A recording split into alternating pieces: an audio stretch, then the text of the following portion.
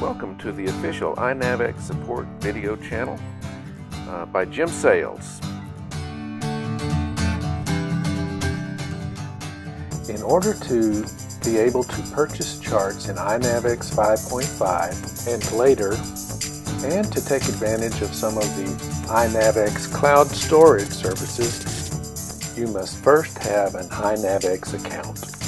If you updated to iNavX 5.5 from an earlier version, your Fugawi account information transferred over already. To create an iNavX account, tap the Charts item in the upper left-hand corner, then tap Account in the upper left-hand corner as well. Tap Sign up for an iNavX account. Complete the information page, then tap Register.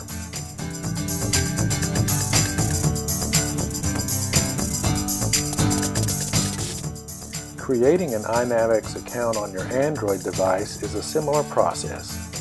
Tap the More item in the toolbar at the bottom of the screen, then tap Account.